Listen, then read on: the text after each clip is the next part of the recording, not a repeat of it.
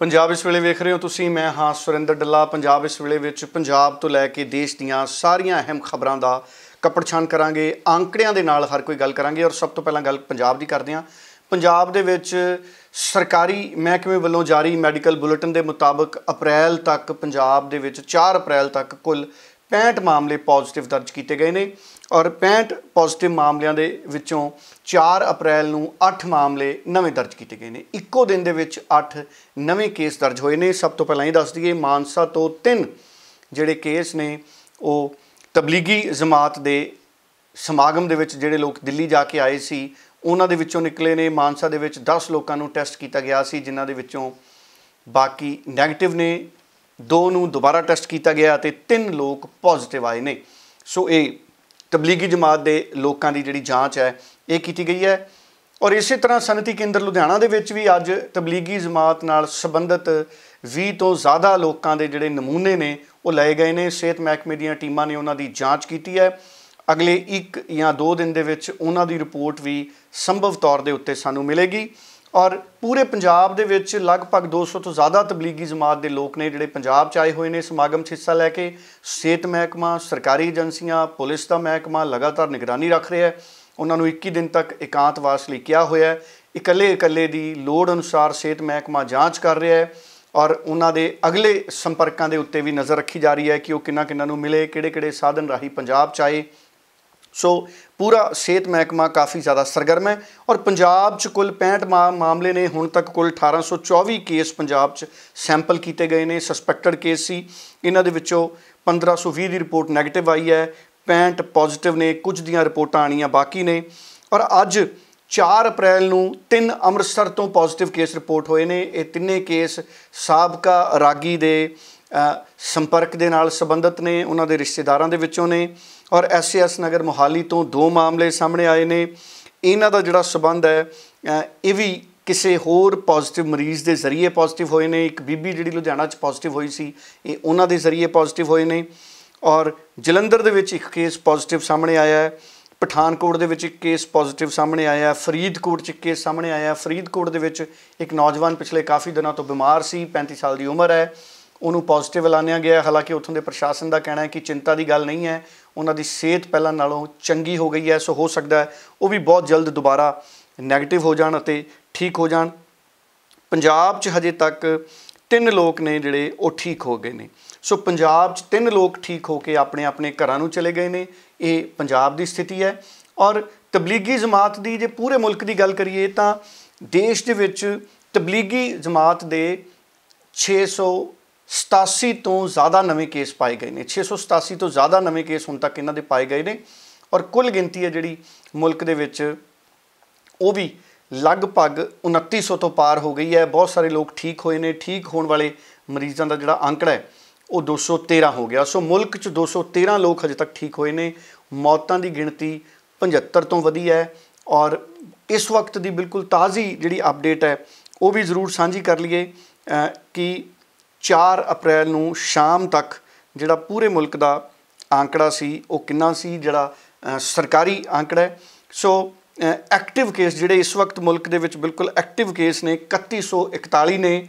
ਰਾਤ ਲਗਭਗ 8 ਵਜੇ ਤੱਕ ਦਾ ਇਹ ਆਂਕੜਾ ਹੈ 4 ਅਪ੍ਰੈਲ 8 ਵਜੇ ਤੱਕ ਦਾ ਆંકੜਾ ਹੈ। 3141 ਪੋਜ਼ਿਟਿਵ ਕੇਸ ਨੇ ਐਕਟਿਵ ਕੇਸ ਨੇ ਔਰ 262 ਠੀਕ ਹੋਏ ਨੇ ਔਰ ਮੌਤਾਂ ਦੀ ਗਿਣਤੀ ਵੱਧ ਕੇ 91 ਹੋ ਗਈ ਹੈ, ਜਿਹੜਾ 4 ਅਪ੍ਰੈਲ 8 ਵਜੇ ਤੱਕ ਦਾ ਅੰਕੜਾ ਹੈ। ਸੋ ਕੁੱਲ ਅੱਜ ਤੱਕ ਪੰਜਾਬ 'ਚ, ਇੰਡੀਆ 'ਚ, ਪੂਰੇ ਮੁਲਕ 'ਚ 3494 ਦਾ ਅੰਕੜਾ ਪਹੁੰਚਿਆ, ਪਰ ਐਕਟਿਵ 3141 ਹੈ ਕਿਉਂਕਿ 262 ਲੋਕ ਠੀਕ ਵੀ ਹੋਏ ਨੇ। ਸੋ ਮਹਾਰਾਸ਼ਟਰ ਦੇ ਵਿੱਚ ਸਭ ਤੋਂ ਜ਼ਿਆਦਾ 537 ਨੇ ਇਸ ਵਕਤ, ਤਮਿਲਨਾਡੂ 'ਚ 485 ਨੇ, ਦਿੱਲੀ ਦੇ ਵਿੱਚ 455 ਦਿੱਲੀ ਦੇ ਵਿੱਚ ਵੀ ਬਹੁਤ ਤੇਜ਼ੀ ਦੇ ਨਾਲ ਜਿਹੜੇ ਮਰੀਜ਼ ਨੇ ਉਹ ਵਧੇ ਨੇ ਔਰ ਦਿੱਲੀ ਦੇ ਵਿੱਚ ਮਹਾਰਾਸ਼ਟਰ ਔਰ ਤਮਿਲਨਾਡੂ 'ਚ ਮਰੀਜ਼ਾਂ ਦਾ ਐਡੀ ਤੇਜ਼ੀ ਨਾਲ ਵਧਣ ਦਾ ਜਿਹੜਾ ਕਾਰਨ ਹੈ, ਉਹਦੇ ਪਿੱਛੇ ਤਬਲੀਗੀ ਜਮਾਤ ਦੇ ਜਿਹੜੇ ਪੋਜ਼ਿਟਿਵ ਮਾਮਲੇ ਆਏ ਨੇ ਬਹੁਤ ਤੇਜ਼ੀ ਦੇ ਨਾਲ, ਉਹਨਾਂ ਨੂੰ ਮੰਨਿਆ ਜਾ ਰਿਹਾ ਪੂਰੇ ਮੁਲਕ ਦੇ ਵਿੱਚ ਤਬਲੀਗੀ ਜਮਾਤ ਦੇ ਲੋਕਾਂ ਤੇ ਨਜ਼ਰ ਰੱਖੀ ਜਾ ਰਹੀ ਹੈ। ਉਹਨਾਂ ਨੂੰ ਕੁਆਰੰਟਾਈਨ ਕਰਨ ਦੇ ਲਈ ਕਿਹਾ ਗਿਆ 21 ਦਿਨਾਂ ਤੱਕ ਉਹਨਾਂ ਨੂੰ ਇਕਾਂਤ ਵਾਸਤੇ ਵਿੱਚ ਭੇਜਿਆ ਗਿਆ ਹੈ ਅਤੇ ਉਹਨਾਂ ਦੇ ਉੱਪਰ ਨਜ਼ਰਸਾਨੀ ਵੀ ਰੱਖੀ ਗਈ ਹੈ ਤਾਂ ਕਿ ਕਿਸੇ ਵੀ ਕੀਮਤ ਤੇ ਕੋਈ ਵੀ ਵਿਅਕਤੀ ਲਾਪਰਵਾਹੀ ਨਾ ਕਰੇ। ਉਧਰ ਚੰਡੀਗੜ੍ਹ ਦੇ ਵਿੱਚ ਤਿੰਨ ਤੋਂ ਲੈ ਕੇ ਚਾਰ ਮਰੀਜ਼ ਨੇ ਜਿਹੜੇ ਉਹ ਠੀਕ ਹੋ ਕੇ ਆਪਣੇ ਘਰਾਂ ਨੂੰ ਚਲੇ ਗਏ ਨੇ, ਸੋ ਉਹ ਤੰਦਰੁਸਤ ਹੋ ਗਏ ਨੇ। ਇਹਨਾਂ ਦੇ ਵਿੱਚੋਂ ਦੋ ਇੰਗਲੈਂਡ ਦੇ ਵੀ ਦੱਸੇ ਜਾ ਰਹੇ ਨੇ, ਜਿਨ੍ਹਾਂ ਦਾ ਸਬੰਧ ਵਿਦੇਸ਼ ਦੇ ਨਾਲ ਸੀ। ਸੋ ਉਹ ਠੀਕ ਹੋ ਕੇ ਘਰੇ ਚਲੇ ਗਏ ਨੇ। ਸੋ ਚੰਡੀਗੜ੍ਹ ਪ੍ਰਸ਼ਾਸਨ ਲਗਾਤਾਰ ਇਹ ਜਿਹੜੀਆਂ ਤਾਜ਼ੇ ਅਪਡੇਟ ਨੇ, ਇਹ ਵੀ ਸਾਂਝੇ ਕਰ ਰਿਹਾ। ਔਰ ਇਹਦੇ ਨਾਲ ਨਾਲ ਇੱਕ ਹੋਰ ਬੜੀ ਅਹਿਮ ਖਬਰ ਹੈ, ਉਹਦੇ ਉੱਪਰ ਇਸ ਵਕਤ ਗੱਲ ਸਾਂਝੀ ਕਰ ਲਈਏ। ਪੰਜਾਬ ਬਿਜਲੀ ਬੋਰਡ ਦੇ ਚੇਅਰਮੈਨ ਦਾ ਸੁਨੇਹਾ ਜਿਹੜਾ ਜਿਹੜੇ ਬਿਜਲੀ ਬੋਰਡ ਦੇ ਚੇਅਰਮੈਨ ਨੇ ਸਰਾਂ, ਉਹਨਾਂ ਦਾ ਜਿਹੜਾ ਸੁਨੇਹਾ ਹੈ, ਉਹ ਸਾਫ਼ ਤੌਰ ਦੇ ਉੱਤੇ ਉਹ ਵੀ ਮੈਂ ਤੁਹਾਨੂੰ ਦੱਸਦਾ, ਪਰ ਉਸ ਤੋਂ ਪਹਿਲਾਂ ਦੇਸ਼ ਦੇ ਵਿੱਚ ਜਿਹੜੀ ਇੱਕ ਨਵੀਂ ਬਹਿਸ ਸ਼ੁਰੂ ਹੋਈ ਹੈ। ਪ੍ਰਧਾਨ ਮੰਤਰੀ ਨੇ ਕਿਹਾ 5 ਅਪ੍ਰੈਲ ਨੂੰ ਰਾਤ 9 ਵਜੇ 9 ਮਿੰਟ ਲਈ ਰੌਸ਼ਨੀ ਜਗਾਣੀ ਹੈ। ਗੱਲਾਂ ਇਹ ਸ਼ੁਰੂ ਹੋ ਗਈਆਂ ਕਿ ਅਗਰ ਪੂਰਾ ਮੁਲਕ ਬੱਤੀ ਬੰਦ ਕਰ ਦੇਗਾ ਤਾਂ ਦੇਸ਼ ਦੇ ਗ੍ਰਿਡ ਤੇ, ਪੰਜਾਬ ਤੇ ਬਿਜਲੀ ਸਪਲਾਈ ਠੱਪ ਹੋਣ ਦਾ ਖਤਰਾ ਨਾ ਪੈਦਾ ਹੋ ਜਾਏ, ਕਿਤੇ ਲੋਡ ਜ਼ਿਆਦਾ ਨਾ ਵੱਧ ਜਾਏ। ਇਸ ਮਾਮਲੇ ਦੇ ਵਿੱਚ ਦੇਸ਼ ਦੇ ਵੱਡੇ ਵੱਡੇ ਅਧਿਕਾਰੀ ਅਫਸਰ ਲਗਾਤਾਰ ਸਥਿਤੀਆਂ ਤੇ ਨਜ਼ਰ ਬਣਾ ਕੇ ਰੱਖ ਰਹੇ ਨੇ ਔਰ ਕਈ ਤਰ੍ਹਾਂ ਦੀਆਂ ਗੱਲਾਂ ਨੇ ਜਿਹੜੀਆਂ ਉਹ ਸਮਾਜਿਕ ਤੌਰ ਤੇ ਅੱਗੇ ਆ ਰਹੀਆਂ ਨੇ। ਪਹਿਲੀ ਗੱਲ ਇਹ ਕਿ ਪ੍ਰਧਾਨ ਮੰਤਰੀ ਨੇ ਸਿਰਫ ਲਾਈਟਾਂ ਬੰਦ ਕਰਨ ਦੀ ਗੱਲ ਕਹੀ ਹੈ। ਉਹਨਾਂ ਨੇ ਏਸੀ ਬੰਦ ਕਰਨ ਨੂੰ, ਫ੍ਰਿਜ ਬੰਦ ਕਰਨ ਨੂੰ, ਗੀਜ਼ਰ, ਕੂਲਰ ਬੰਦ ਕਰਨ ਨੂੰ ਜਾਂ ਜਿਹੜੇ ਜਿਹੜੇ ਘਰਾਂ ਦੇ ਵਿੱਚ ਚੁੱਲ੍ਹੇ, ਗੈਸ ਦੇ ਬਿਜਲੀ ਤੇ ਚੱਲਦੇ ਨੇ, ਉਹ ਬੰਦ ਕਰਨ ਨੂੰ ਨਹੀਂ ਕਿਹਾ। ਨਾ ਬਿਜਲੀ ਦੀ ਮੋਟਰ ਬੰਦ ਕਰਨ ਨੂੰ ਕਿਹਾ। ਭਾਵ ਸਿਰਫ ਬੱਲਬ ਬੰਦ ਕਰਨੇ ਨੇ, ਰੋਸ਼ਨੀ ਟਿਊਬਾਂ ਦੀ ਬੰਦ ਕਰਕੇ ਅਸੀਂ ਦੀਵੇ ਜਾਂ ਮੋਬਾਈਲ ਦੀ ਟਾਰਚ ਜਗਾ ਲੈਣੀ ਹੈ। ਸੰਕੇਤਿਕ ਤੌਰ ਤੇ ਜਿਸ ਤਰੀਕੇ ਨਾਲ ਪ੍ਰਧਾਨ ਮੰਤਰੀ ਨੇ ਸਨੇਹਾ ਦਿੱਤਾ ਹੈ। ਔਰ ਮੈਨੂੰ ਲੱਗਦਾ ਕਿ ਇਹ ਗੱਲ ਸਿੱਧੀ ਆਸਥਾ ਨਾਲ ਜੁੜੀ ਹੈ। ਇਹਦੇ ਉੱਤੇ ਜ਼ਿਆਦਾ ਕਿੰਤੂ ਪਰੰਤੂ ਦੇ ਨਾਲ ਆਪਣੀ એનર્ਜੀ ਖਰਾਬ ਕਰਨ ਦੀ ਬਜਾਏ ਇਸ ਮਾਮਲੇ ਨੂੰ ਇਸ ਤਰੀਕੇ ਨਾਲ ਦੇਖਣਾ ਚਾਹੀਦਾ ਹੈ ਕਿ ਸਾਡੇ ਸਾਰਿਆਂ 'ਚ ਏਕੇ ਦੀ ਭਾਵਨਾ ਆਵੇ। ਅਸੀਂ ਮਿਲ ਕੇ ਇਹਨਾਂ ਸਥਿਤੀਆਂ ਦੇ ਨਾਲ ਨਜਿੱਠੀਏ। ਉਂਝ ਵੀ ਮੁਲਕ ਦੇ ਵਿੱਚ ਬਹੁਤ ਵਾਰੀ ਕੈਂਡਲ ਲਾਈਟ ਦੇ ਨਾਲ ਅੰਦੋਲਨ ਹੁੰਦੇ ਨੇ। ਕਈ ਵਾਰੀ ਇਨਸਾਫ ਲੈਣ ਲਈ ਕੈਂਡਲ ਮਾਰਚ ਕੱਢਿਆ ਜਾਂਦਾ ਹੈ। ਕਈ ਵਾਰੀ ਮਨੋਬਲ ਵਧਾਉਣ ਲਈ ਕੈਂਡਲ ਮਾਰਚ ਕੱਢਿਆ ਜਾਂਦਾ ਹੈ। ਕਈ ਵਾਰੀ ਦੁੱਖ 'ਚ ਆਪਣੇ ਦਰਦ ਦਾ ਪ੍ਰਗਟਾਵਾ ਕਰਨ ਲਈ ਕੈਂਡਲ ਮਾਰਚ ਕੱਢਿਆ ਜਾਂਦਾ ਹੈ। ਔਰ ਇਹ ਵੀ ਜਿਹੜੇ ਆਪਣੇ ਆਪਣੇ ਘਰਾਂ 'ਚ ਸਾਰਿਆਂ ਨੇ ਮੋਮਬੱਤੀਆਂ ਬਾਲਣੀਆਂ ਨੇ, ਦੀਵੇ ਬਾਲਣੇ ਨੇ, ਇਹਦੇ ਪਿੱਛੇ ਮਨਸ਼ਾ ਇਹੀ ਨਜ਼ਰ ਆਉਂਦੀ ਹੈ ਕਿ ਇੱਕ ਜਜ਼ਬਾ ਪੈਦਾ ਹੋਵੇ ਏਕਾ ਪੈਦਾ ਹੋਵੇ, ਇੱਕ ਤਾਕਤ ਪੈਦਾ ਹੋਵੇ, ਜੋਸ਼ ਮਨੋਵਿਗਿਆਨਿਕ ਤੌਰ ਤੇ ਪੈਦਾ ਹੋਵੇ ਕਿ ਅਸੀਂ ਇਸ ਬਿਮਾਰੀ ਦੇ ਨਾਲ ਲੜਨਾ ਹੈ ਅਤੇ ਇਸ ਜੰਗ ਨੂੰ ਜਿੱਤਣਾ ਹੈ। ਸੋ, ਪੰਜਾਬ ਬਿਜਲੀ ਬੋਰਡ ਦੇ ਜਿਹੜੇ ਚੇਅਰਮੈਨ ਨੇ, ਸਰਾਂ ਸਾਹਿਬ, ਉਹਨਾਂ ਨੇ ਵੀ ਇੱਕ ਜਿਹੜੇ ਸੁਨੇਹੇ ਨੇ ਉਹ ਜਾਰੀ ਕੀਤੇ ਨੇ ਕਿਉਂਕਿ ਸੋਸ਼ਲ ਮੀਡੀਆ ਤੇ ਕਈ ਤਰ੍ਹਾਂ ਦੇ ਸੁਨੇਹੇ ਆ ਰਹੇ ਨੇ। ਸੋ, ਉਹਨਾਂ ਦੇ ਪਬਲਿਕ ਰਿਲੇਸ਼ਨ ਅਫਸਰ ਦੇ ਜ਼ਰੀਏ ਜਿਹੜੀ ਜਾਣਕਾਰੀ ਆਈ ਹੈ, ਉਹਦੇ ਮੁਤਾਬਕ ਪੰਜਾਬ 'ਚ ਲੋਕਡਾਊਨ ਕਰਕੇ ਜਿਹੜਾ ਲੋਡ ਹੈ, ਉਹ 2800 ਤੋਂ ਲੈ ਕੇ 2900 ਮੈਗਾਵਾਟ ਹੈ। ਐਟ 9 ਪੀਐਮ ਮਤਲਬ ਰਾਤ ਨੂੰ ਜਿਹੜਾ ਲੋਡ ਹੈ, ਉਹ 2800 ਤੋਂ 2900 ਮੈਗਾਵਾਟ ਹੈ। ਔਰ ਪੰਜਾਬ 'ਚ ਲੋਡ ਘਟ ਗਿਆ। ਪੂਰੇ ਦੇਸ਼ 'ਚ ਲੋਡ ਘਟਿਆ। ਪੰਜਾਬ 'ਚ ਵੀ ਘਟਿਆ। ਜਦੋਂ ਦੇ ਦੁਕਾਨਾਂ ਬੰਦ ਹੋ ਗਈਆਂ, ਫੈਕਟਰੀਆਂ ਬੰਦ ਹੋ ਗਈਆਂ, ਦਫ਼ਤਰ ਕਾਰਪੋਰੇਟ ਬੰਦ ਹੋ ਗਏ, ਸੋ ਲੋਡ ਘਟਿਆ।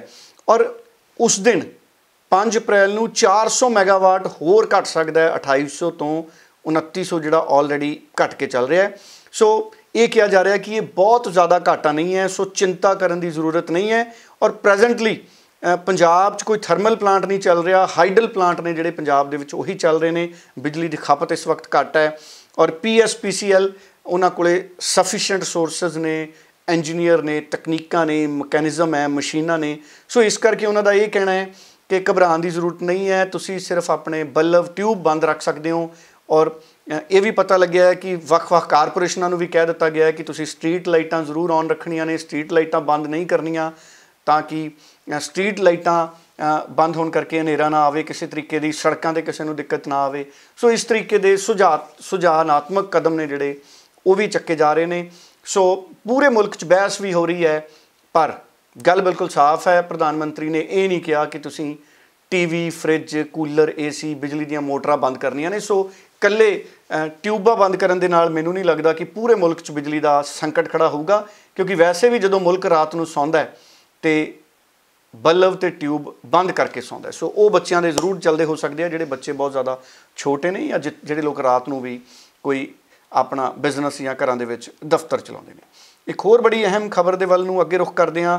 ਪੰਜਾਬ ਦੇ ਮੁੱਖ ਮੰਤਰੀ ਕੈਪਟਨ ਅਮਰਿੰਦਰ ਸਿੰਘ ਨੇ ਸਾਰੇ ਸਰਕਾਰੀ ਮਹਿਕਮਿਆਂ ਨੂੰ ਕਿਹਾ ਕਿ ਮੌਜੂਦਾ ਐਮਰਜੈਂਸੀ ਦੇ ਵਕਤ ਦੇ ਨਾਲ ਨਜਿੱਠਣ ਦੇ ਲਈ ਉਹ ਸਰਕਾਰੀ ਖਰਚਿਆਂ ਨੂੰ ਘੱਟ ਕਰਨ ਔਰ ਸਰਕਾਰੀ ਖਰਚਿਆਂ 'ਚ ਕਟੌਤੀ ਬਾਰੇ 8 ਅਪ੍ਰੈਲ ਤੱਕ ਆਪਣੇ ਸੁਝਾਅ ਤੇ ਰਿਪੋਰਟਾਂ ਪੇਸ਼ ਕਰਨ।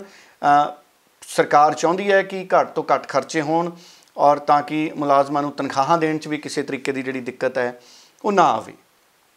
ਉਧਰ ਸੁਖਬੀਰ ਸਿੰਘ ਬਾਦਲ ਨੇ ਅੱਜ ਫਿਰੋਜ਼ਪੁਰ ਤੋਂ ਜਿਹੜੇ ਮੈਂਬਰ ਪਾਰਲੀਮੈਂਟ ਨੇ, ਉਹਨਾਂ ਨੇ ਆਪਣੇ ਹਲਕੇ ਫਿਰੋਜ਼ਪੁਰ ਦੇ ਵਿੱਚ ਹਸਪਤਾਲਾਂ ਨੂੰ ਐਮਪੀ ਫੰਡ ਵਿੱਚੋਂ ਰਾਸ਼ੀ ਜਾਰੀ ਕੀਤੀ ਹੈ। ਸੋ ਜਿਸ ਦੇ ਤਹਿਤ ਸਿਵਲ ਹਸਪਤਾਲ ਸ਼੍ਰੀ ਮੁਕਤਸਰ ਨੂੰ ਇੱਕ ਵੈਂਟੀਲੇਟਰ ਅਤੇ ਮੈਡੀਕਲ ਕਿੱਟਾਂ ਅਤੇ ਸਿਵਲ ਹਸਪਤਾਲ ਫਿਰੋਜ਼ਪੁਰ ਨੂੰ ਮੈਡੀਕਲ ਕਿੱਟਾਂ ਦੇ ਨਾਲ-ਨਾਲ ਵੈਂਟੀਲੇਟਰ ਤੇ ਜਲਾਲਾਬਾਦ ਸਿਵਲ ਹਸਪਤਾਲ ਲਈ ਮੈਡੀਕਲ ਕਿੱਟਾਂ ਵੈਂਟੀਲੇਟਰ ਤੋਂ ਇਲਾਵਾ ਇੱਕ ਮੋਬਾਈਲ ਵੈਂਟੀਲੇਟਰ ਐਂਬੂਲੈਂਸ ਦੇ ਲਈ ਫੰਡ ਜਾਰੀ ਕੀਤੇ ਨੇ। ਸੋ ਉਹਨਾਂ ਦੇ ਜਿਹੜੇ ਨਾਲ ਉਹਨਾਂ ਦੇ ਜੁੜੇ ਆਗੂ ਨੇ, ਉਹਨਾਂ ਵੱਲੋਂ ਇਹ ਜਾਣਕਾਰੀ ਹੈ ਜਿਹੜੀ ਇਹ ਸਾਂਝੀ ਕੀਤੀ ਗਈ ਹੈ। ਸੋ ਇਸੇ ਤਰ੍ਹਾਂ ਪੰਜਾਬ 'ਚ ਸਾਰੇ ਮੈਂਬਰ ਪਾਰਲੀਮੈਂਟ ਨੇ ਜਿਹੜੇ, ਉਹ ਆਪਣੇ ਆਪਣੇ ਐਮਪੀ ਫੰਡਾਂ ਦੇ ਵਿੱਚੋਂ ਐਮਪੀ ਲੈਂਡ ਫੰਡਾਂ ਦੇ ਵਿੱਚੋਂ ਡਿਸਟ੍ਰਿਕਟ ਅਫਸਰਾਂ ਨੂੰ, ਜ਼ਿਲ੍ਹਾ ਜਿਹੜੇ ਮੈਜਿਸਟ੍ਰੇਟ ਨੇ, ਡਿਪਟੀ ਕਮਿਸ਼ਨਰ ਨੇ, ਉਹਨਾਂ ਨੂੰ ਅਖਤਿਆਰ ਦੇ ਰਹੇ ਨੇ ਕਿ ਸਾਡੇ ਫੰਡ ਦੇ ਵਿੱਚੋਂ ਤੁਸੀਂ ਲੋਕਾਂ ਦੀ ਮਦਦ ਲਈ ਕੰਮ ਕਰੋ। ਪ੍ਰਸਿੱਧ ਉਦਯੋਗਪਤੀ ਅਤੇ ਸਮਾਜ ਸੇਵਕ ਐਸਪੀ ਸਿੰਘ ਓਬਰਾਏ ਦੀ ਜਿਹੜੀ ਸੰਸਥਾ ਹੈ, ਸਰਬਤ ਦਾ ਭਲਾ ਚੈਰੀਟੇਬਲ ਟਰਸਟ ਉਹਨਾਂ ਵੱਲੋਂ ਚਾਰ ਵੈਂਟੀਲੇਟਰ ਨੇ ਜਿਹੜੇ ਅੱਜ ਸੌਂਪੇ ਗਏ ਨੇ। ਅੰਮ੍ਰਿਤਸਰ ਦੇ ਵਿੱਚ ਪੰਜਾਬ ਦੇ ਕੈਬਨਿਟ ਮੰਤਰੀ ਓਪੀ ਸੋਨੀ ਮੌਜੂਦ ਰਹੇ, ਸਿਹਤ ਮਹਿਕਮੇ ਦੇ ਅਧਿਕਾਰੀ ਮੌਜੂਦ ਰਹੇ। ਚਾਰ ਥਾਵਾਂ ਦੇ ਲਈ ਉਹਨਾਂ ਨੇ ਵੈਂਟੀਲੇਟਰ ਸੌਂਪੇ ਨੇ। ਉਹਨਾਂ ਨੇ ਕਿਹਾ ਕਿ ਅਸੀਂ N95 ਮਾਸਕ ਦਾ ਵੀ ਆਰਡਰ ਦਿੱਤਾ ਆਉਂਦੇ ਸਮੇਂ ਦੇ ਵਿੱਚ ਉਹ ਵੀ ਅਸੀਂ ਕੋਸ਼ਿਸ਼ ਕਰਾਂਗੇ ਕਿ ਅਸੀਂ ਮਦਦ ਕਰੀਏ। ਕੱਲ ਡੀਮਾਰਟ ਅਤੇ ਕੇਵਲ ਢਿੱਲੋਂ ਗਰੁੱਪ ਵੱਲੋਂ 5 ਕਰੋੜ 5 ਲੱਖ ਦਾ ਚੈੱਕ ਪੰਜਾਬ ਦੇ ਮੁੱਖ ਮੰਤਰੀ ਕੈਪਟਨ ਅਮਰਿੰਦਰ ਸਿੰਘ ਨੂੰ ਸੌਂਪਿਆ ਗਿਆ ਸੀ। ਕੇਵਲ ਢਿੱਲੋਂ ਪੰਜਾਬ ਕਾਂਗਰਸ ਦੇ ਸੀਨੀਅਰ ਆਗੂ ਨੇ। ਔਰ ਸਾਰਿਆਂ ਨੂੰ ਪਤਾ ਹੈ ਕਿ ਦੋ ਵਾਰ ਬਰਨਾਲਾ ਵਿਧਾਨ ਸਭਾ ਹਲਕਾ ਤੋਂ ਉਹ ਵਿਧਾਨ ਵਿਧਾਇਕ ਵੀ ਰਹਿ ਚੁੱਕੇ ਨੇ। ਰਾਜੀਵ ਗਾਂਧੀ ਦੇ ਨਾਲ ਵੀ ਉਹਨਾਂ ਦੇ ਚੰਗੇ ਸਬੰਧ ਸਨ। ਬਹੁਤ ਲੰਮੇ ਸਮੇਂ ਤੋਂ ਪੰਜਾਬ ਦੀ ਕਾਂਗਰਸ ਦੇ ਵਿੱਚ ਸਰਗਰਮ ਨੇ। ਕੈਪਟਨ ਅਮਰਿੰਦਰ ਸਿੰਘ ਦੇ ਵੀ ਉਹਨਾਂ ਨੂੰ ਨੇੜੇ ਸਮਝਿਆ ਜਾਂਦਾ ਹੈ। ਚੰਗੇ ਉਦਯੋਗਪਤੀ ਨੇ। ਇਸ ਵਾਰ ਹਾਰ ਗਏ। ਅਗਰ ਜਿੱਤਦੇ ਤਾਂ ਨਿਸ਼ਚਿਤ ਤੌਰ ਤੇ ਪੰਜਾਬ ਦੇ ਵਿੱਚ ਕੈਬਨਿਟ ਦੇ ਮੰਤਰੀ ਬਣਨ ਦਾ ਉਹਨਾਂ ਦਾ ਪੂਰਾ ਪੂਰਾ ਜਿਹੜਾ ਚਰਚਾ ਚੱਲ ਰਹੀ ਸੀ। ਪਰ ਇਸ ਦੁੱਖ ਦੀ ਘੜੀ ਦੇ ਵਿੱਚ ਉਹਨਾਂ ਨੇ ਆਪਣੇ ਵਪਾਰਕ ਘਰਾਣਿਆਂ ਦੇ ਵਿੱਚੋਂ 5 ਕਰੋੜ 5 ਲੱਖ ਰੁਪਏ ਦੀ ਮਦਦ ਹੈ ਜਿਹੜੀ ਉਹ ਪੰਜਾਬ ਦੇ ਵਿੱਚ ਦਿੱਤੀ ਹੈ ਤਾਂ ਕਿ ਪੰਜਾਬ ਦੀ ਸਰਕਾਰ ਪੰਜਾਬ ਦੇ ਲੋਕਾਂ ਨੂੰ ਸਹੂਲਤਾਂ ਦੇਣ ਦੇ ਲਈ ਕੰਮ ਕਰ ਸਕੇ। ਸੋ ਮੈਨੂੰ ਲੱਗਦਾ ਕਿ ਕੇਵਲ ਸਿੰਘ ਢਿੱਲੋਂ ਉਹਨਾਂ ਦਾ ਜਿਹੜਾ ਇਹ ਉਪਰਾਲਾ ਹੈ, ਇਹ ਬਹੁਤ ਸ਼ਲਾਘਾਯੋਗ ਹੈ ਔਰ ਸਾਰੇ ਦੁਨੀਆ ਭਰ 'ਚ ਬੈਠੇ ਪੰਜਾਬੀਆਂ ਨੂੰ ਵੀ ਇਸ ਵਕਤ ਧੰਨਵਾਦ ਕਰਨਾ ਬਣਦਾ ਹੈ। ਪੰਜਾਬ ਦੇ ਕਿਸੇ ਵੀ ਉਦਯੋਗਿਕ ਘਰਾਣੇ ਨੇ ਪੰਜਾਬ ਦੀ ਸਰਕਾਰ ਨੂੰ ਇਹ ਸਭ ਤੋਂ ਵੱਡੀ ਰਾਸ਼ੀ ਹੈ ਜਿਹੜੀ ਦਿੱਤੀ ਹੈ। ਆਸ ਕਰਦੇ ਹਾਂ ਕਿ ਇਸ ਤੋਂ ਪ੍ਰੇਰਣਾ ਲੈਂਦੇ ਹੋਏ ਪੰਜਾਬ ਦੇ ਹੋਰ ਵੱਡੇ ਵੱਡੇ ਉਦਯੋਗਿਕ ਘਰਾਣੇ ਨੇ, ਉਹ ਵੀ ਜ਼ਰੂਰ ਪੰਜਾਬ ਸਰਕਾਰ ਦੀ ਮਦਦ ਕਰਨਗੇ। ਪੰਜਾਬ ਦੇ ਵਿੱਚ ਕਈ ਤਰ੍ਹਾਂ ਦੇ ਉਦਯੋਗ ਨੇ, ਕਈ ਪੰਜਾਬ 'ਚ ਵੱਡੇ ਵੱਡੇ ਅਖਬਾਰ ਨੇ, ਪੰਜਾਬ 'ਚ ਕਈ ਵੱਡੇ ਵੱਡੇ ਚੈਨਲ ਚੱਲਦੇ ਨੇ, ਪੰਜਾਬ 'ਚ ਸਾਈਕਲਾਂ ਦੇ, ਹੌਜ਼ਰੀਆਂ ਦੇ ਵੱਡੇ ਵੱਡੇ ਯੂਨਿਟ ਨੇ। ਹੁਣ ਵੇਖਦੇ ਆ ਕਿ ਕੇਵਲ ਢਿੱਲੋਂ ਉਹਨਾਂ ਦੀ ਪਹਿਲ ਤੋਂ ਬਾਅਦ ਕਿਹੜੇ-ਕਿਹੜੇ ਲੋਕ ਪੰਜਾਬ ਦੇ ਖਜ਼ਾਨੇ 'ਚ ਮਦਦ ਕਰਨ ਲਈ ਅੱਗੇ ਆਉਂਦੇ ਨੇ। ਉਂਝ ਬਹੁਤ ਸਾਰੇ ਵਿਧਾਇਕ ਵੀ ਨੇ ਪੰਜਾਬ ਦੇ ਵਿੱਚ, ਜਿਹੜੇ ਕਰੋੜਾਂ ਦੇ ਮਾਲਕ ਨੇ, ਉਹਨਾਂ ਵੱਲੋਂ ਵੀ ਅਗਰ ਕਿਸੇ ਵੀ ਵਿਧਾਇਕ ਵੱਲੋਂ ਹਾਲੇ ਤੱਕ 10 ਲੱਖ 20 ਲੱਖ ਜਾਂ 50 ਲੱਖ ਰੁਪਇਆ ਵਿੱਤੀ ਮਦਦ ਦੇਣ ਦੀ ਜਿਹੜੀ ਖਬਰ ਹੈ, ਉਹ ਹਾਲੇ ਤੱਕ ਸਾਹਮਣੇ ਨਹੀਂ ਆਈ। ਆਸ ਕਰਾਂਗੇ ਕਿ ਪੰਜਾਬ ਦੇ ਜਿਹੜੇ ਸਾਰੇ ਅਮੀਰ ਵਿਧਾਇਕ ਨੇ, ਉਹ ਵੀ ਇਸ ਮੌਕੇ ਹਿੰਮਤ ਕਰਨ ਤੇ 5-5 10-10 ਲੱਖ ਦੇ ਚੈੱਕ ਆ ਜਿਹੜੇ ਉਹ ਸਰਕਾਰੀ ਖਜ਼ਾਨੇ 'ਚ ਦੇਣ। ਸਿਰਫ 15 ਦਿਨ ਦੀ ਜਾਂ 1 ਮਹੀਨੇ ਦੀ ਤਨਖਾਹ ਛੱਡ ਦੇਣ ਦੇ ਨਾਲ ਜਿਹੜੀ ਮਦਦ ਹੈ, ਉਹ ਸੰਕੇਤਿਕ ਮਦਦ ਹੈ। ਸੋ ਉਹਨਾਂ ਉਹਨਾਂ ਅੱਗੇ ਬਹੁਤ ਵੱਡੀ ਚੁਣੌਤੀ ਤੇ ਜ਼ਿੰਮੇਵਾਰੀ ਹੈ। ਸਾਰੀ ਪੰਜਾਬ ਦੀ ਜਿਹੜੀ ਸਥਿਤੀ ਹੈ, ਉਹ ਚੰਗੀ ਨਹੀਂ ਹੈ, ਸੋ ਇਹ ਸੁਧਰ ਸਕਦੀ ਹੈ। ਉਂਝ ਕੇਂਦਰ ਸਰਕਾਰ ਵੱਲੋਂ ਵੀ 11000 1100 ਕਰੋੜ ਦੇ ਲਗਭਗ ਰਾਸ਼ੀ ਸਾਰੇ ਸੂਬਿਆਂ ਨੂੰ ਮਦਦ ਦੇ ਤੌਰ ਤੇ ਜਾਰੀ ਕੀਤੀ ਗਈ ਹੈ ਤਾਂ ਕਿ ਤੁਰੰਤ ਮਦਦ ਵਾਲੇ ਕੰਮ ਜਾਰੀ ਹੋਣ ਔਰ ਇਸੇ ਤਰ੍ਹਾਂ ਪੰਜਾਬ ਦੇ ਮੁੱਖ ਮੰਤਰੀ ਵੱਲੋਂ ਵੀ 52 ਕਰੋੜ ਰੁਪਏ ਵੱਖ-ਵੱਖ ਡਿਪਟੀ ਕਮਿਸ਼ਨਰਾਂ ਦੇ ਲਈ ਜਾਰੀ ਕੀਤੇ ਗਏ ਨੇ ਤਾਂ ਕਿ ਪੰਜਾਬ ਦੇ ਵਿੱਚ ਤੁਰੰਤ ਜਿਹੜੀਆਂ ਜ਼ਰੂਰੀ ਸੇਵਾਵਾਂ ਨੇ, ਉਹ ਅੱਗੇ ਵਧ ਸਕਣ। ਔਰ ਕੁਝ ਹੋਰ ਖਾਸ ਖਬਰਾਂ ਨੇ ਜਿਨ੍ਹਾਂ ਦੇ ਉੱਤੇ ਅਸੀਂ ਗੱਲ ਕਰਾਂਗੇ। ਇੱਕ ਵਾਰ ਫੇਰ ਖਬਰ ਆਈ ਹੈ ਜਮਾਤੀ ਵਰਗ ਨਾਲ ਸੰਬੰਧਿਤ ਲੋਕਾਂ ਦੀ। ਸਨਤੀ ਕੇਂਦਰ ਲੁਧਿਆਣਾ 'ਚ ਹੁਣ ਤੱਕ 279 ਸੈਂਪਲ ਲਏ ਗਏ ਨੇ, ਉਹਨਾਂ ਦੇ ਵਿੱਚੋਂ 195 ਨੈਗੇਟਿਵ ਆ ਗਏ ਨੇ। ਔਰ ਅੱਜ 26 ਸੈਂਪਲ ਜਮਾਤੀ ਵਰਗ ਨਾਲ ਸੰਬੰਧਿਤ ਲੋਕਾਂ ਦੇ ਲਏ ਗਏ ਨੇ। ਸੋ ਸੰਤੀ ਕੇਂਦਰ ਲੁਧਿਆਣਾ 'ਚ ਤਸਵੀਰ ਸਾਫ਼ ਹੋ ਗਈ। 26 ਜਮਾਤੀ ਵਰਗ ਦੇ ਲੋਕਾਂ ਦੇ ਸੈਂਪਲ ਲਏ ਗਏ ਨੇ, ਜਿਨ੍ਹਾਂ ਦੀ ਰਿਪੋਰਟ ਇੱਕ ਅਦੇ ਦਿਨ ਦੇ ਵਿੱਚ ਆਏਗੀ ਤੇ ਉਸ ਤੋਂ ਬਾਅਦ ਸਥਿਤੀਆਂ ਸਾਫ਼ ਹੋਣਗੀਆਂ। ਉਧਰ ਸੰਤੀ ਕੇਂਦਰ ਲੁਧਿਆਣਾ ਦੇ ਡਿਪਟੀ ਕਮਿਸ਼ਨਰ ਨੇ ਕਿਹਾ ਹੈ ਕਿ ਕਿਸਾਨਾਂ ਨੂੰ ਫਸਲ ਵੱਢਣ ਨੂੰ ਲੈ ਕੇ ਨਵੇਂ ਦਿਸ਼ਾ ਨਿਰਦੇਸ਼ ਜਾਰੀ ਕੀਤੇ ਜਾ ਰਹੇ ਨੇ। ਉਧਰ ਸਰਕਾਰ ਨੇ ਟਰੱਕਾਂ ਨੂੰ ਵੀ ਚਲਾਉਣ ਦੀ ਛੋਟ ਦੇ ਦਿੱਤੀ ਹੈ ਅਤੇ ਕੌਮੀ ਸ਼ਾਹਰਾਹ ਦੇ ਉੱਤੇ ਸਥਿਤ ਪੈਟਰੋਲ ਪੰਪ ਵੀ ਖੋਲਣ ਦੇ ਹੁਕਮ ਦੇ ਦਿੱਤੇ ਨੇ ਔਰ ਟਰੱਕ ਨੇ ਜਿਹੜੇ ਉਹ ਉਹ ਜਿਹੜੇ ਕੌਮੀ ਸ਼ਾਹਰਾਹ ਦੇ ਉੱਤੇ ਚੱਲ ਸਕਣਗੇ ਇਸ ਤਰੀਕੇ ਦੀ ਜਿਹੜੀ ਮਨਜ਼ੂਰੀ ਹੈ ਕੇਂਦਰ ਦੀ ਸਰਕਾਰ ਨੇ ਔਰ ਸੂਬੇ ਦੀ ਸਰਕਾਰਾਂ ਨੇ ਦਿੱਤੀਆਂ ਨੇ। ਸੋ ਅਗਰ ਟਰੱਕ ਚੱਲਣਗੇ ਤਾਂ ਫਲ ਸਬਜ਼ੀਆਂ ਇੱਕ ਜ਼ਿਲ੍ਹੇ ਤੋਂ ਦੂਜੇ ਜ਼ਿਲ੍ਹੇ, ਇੱਕ ਸੂਬੇ ਤੋਂ ਦੂਜੇ ਸੂਬੇ ਤੱਕ ਆ ਸਕਣਗੀਆਂ ਔਰ ਇਹਦੇ ਨਾਲ ਕਾਫੀ ਆਉਣ ਵਾਲੇ ਦਿਨਾਂ 'ਚ ਸਹੂਲਤ ਲੋਕਾਂ ਨੂੰ ਮਿਲੂਗੀ। ਔਰ ਕਰਫਿਊ ਤੇ ਲੋਕਡਾਊਨ ਦੌਰਾਨ ਕਿਸਾਨਾਂ ਅਤੇ ਖੇਤ ਮਜ਼ਦੂਰਾਂ ਨੂੰ ਖੇਤੀ ਦੇ ਨਾਲ ਸੰਬੰਧਿਤ ਕਟਾਈ ਅਤੇ ਬਿਜਾਈ ਕਰਨ ਦੀ ਛੋਟ ਦਿੱਤੀ ਗਈ ਹੈ। ਡਿਪਟੀ ਕਮਿਸ਼ਨਰ ਅਗਰਵਾਲ ਨੇ ਕਿਹਾ ਹੈ ਕਿ ਕਿਸਾਨ ਅਤੇ ਖੇਤ ਮਜ਼ਦੂਰਾਂ ਨੂੰ ਕਟਾਈ ਤੇ ਬਿਜਾਈ ਦੀ ਛੋਟ ਦਿੱਤੀ ਹੈ। ਸਮੂਹ ਕੰਬਾਈਨਾਂ ਕਟਾਈ ਦੇ ਸੀਜ਼ਨ ਦੌਰਾਨ ਸਵੇਰੇ 9 ਤੋਂ ਸ਼ਾਮ 7 ਵਜੇ ਤੱਕ ਹੀ ਖੇਤੀ ਨਾਲ ਸੰਬੰਧਿਤ ਕੰਮ ਕਰ ਸਕਣਗੀਆਂ। ਸੋ ਇਹਨਾਂ ਦੀਆਂ ਸਪੇਅਰ ਪਾਰਟਸ ਦੀਆਂ ਦੁਕਾਨਾਂ ਤੇ ਵਰਕਸ਼ਾਪਾਂ ਸਵੇਰੇ 5 ਤੋਂ 8 ਵਜੇ ਤੱਕ ਹੀ ਖੁੱਲ ਸਕਦੀਆਂ ਨੇ।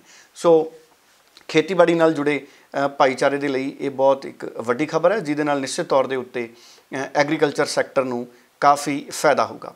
ਪ੍ਰੋਫੈਸਰ ਦਵਿੰਦਰਪਾਲ ਸਿੰਘ ਪੁੱਲਰ ਨੂੰ ਅੰਮ੍ਰਿਤਸਰ ਦੀ ਜੇਲ੍ਹ ਵਿੱਚੋਂ 6 ਹਫ਼ਤੇ ਦੇ ਪੈਰੋਲ ਦੇ ਉੱਤੇ ਛੁੱਟੀ ਦੇ ਦਿੱਤੀ ਗਈ ਹੈ। ਉਹਨਾਂ ਦੀ ਫਾਂਸੀ ਦੀ ਸਜ਼ਾ ਸੁਪਰੀਮ ਕੋਰਟ ਨੇ ਉਮਰ ਕੈਦ ਦੇ ਵਿੱਚ ਤਬਦੀਲ ਕੀਤੀ ਸੀ। ਬਹੁਤ ਲੰਮੇ ਸਮੇਂ ਤੋਂ ਪ੍ਰੋਫੈਸਰ ਦਵਿੰਦਰ ਸਿੰਘ ਭੁੱਲਰ ਜੇਲ੍ਹਾਂ ਦੇ ਵਿੱਚ ਨੇ। ਮਾਨਸਿਕ ਸਥਿਤੀ ਉਹਨਾਂ ਦੀ ਖਰਾਬ ਹੋਈ। ਕਈ ਵਾਰ ਹੁਣ ਉਹ ਪੈਰੋਲ ਤੇ ਪਹਿਲਾਂ ਵੀ ਘਰ ਜਾ ਚੁੱਕੇ ਨੇ ਔਰ ਵਾਪਸ ਆਉਂਦੇ ਨੇ। ਹੁਣ 6 ਹਫ਼ਤੇ ਦੇ ਲਈ ਉਹਨਾਂ ਨੂੰ ਪੈਰੋਲ ਦੇ ਉੱਤੇ ਭੇਜਿਆ ਗਿਆ ਔਰ ਇੱਕ ਹੋਰ ਬਹੁਤ ਵੱਡੀ ਖਬਰ ਹੈ।